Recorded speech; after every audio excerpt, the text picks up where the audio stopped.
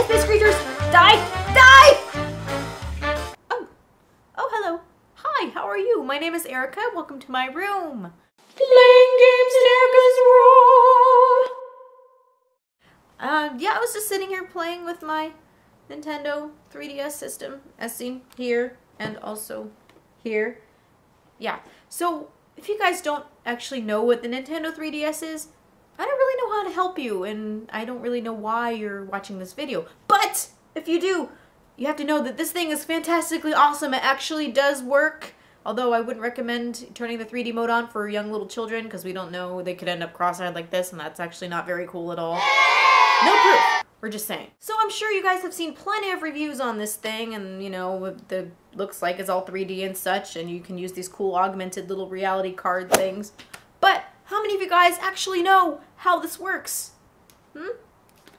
One thing you should know is that the 3D effect is usually achieved by wearing these crazy looking ugly 3D glasses and it's done by two different colors that you can see here.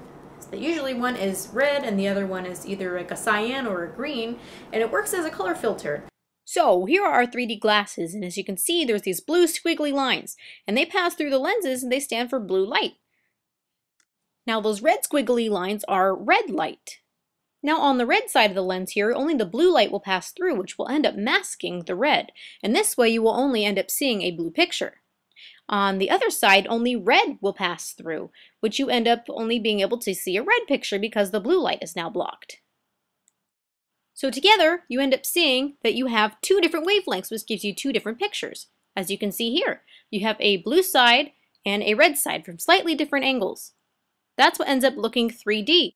You can see the final product by looking at this. This is how the brain is able to actually separate out those pictures. The brain combines those two pictures together and you get this fantastically fabulous looking Easter basket thing. Yay! I don't get it. What's the 3DS doing then? There's no blue and red. All right, all right, hold on. I was just about to explain. Don't get your panties in a wad. So, what? What? Magical change in clothing. Oh, kind of cool. I swear I was just downstairs. I think I'm losing my mind. So, just as we had seen a second ago where I had shown you the color filters with the 3D glasses, the 3DS works a similar way, except for it does something that's actually called a parallax barrier, which, uh, if I can show you, here, hold up your finger, like this, and hold it close to your face. I'm serious, come on, do it. Yeah, hold it like this, and close your right eye and look at your finger with your left eye, and now switch. And don't move your finger though, and kind of do it back and forth. Now, if you can see, it looks like your finger is actually switching, like back and forth like this. So your brain is actually taking two separate images as you're looking at it with both eyes, and it's putting them together. Now, for demonstration purposes, this is our brain. His name is Steve Swanson. He says, hi, by the way. Sup? So, here's our Nintendo 3DS, and here is Steve's line of vision. So the parallax barrier on the Nintendo 3DS works as a system of microscopic mini blinds.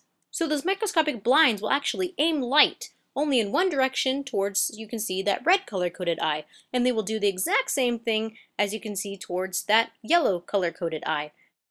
In conclusion, the parallax barrier allows us to take two separate images that are slightly different for each of the eyes to see.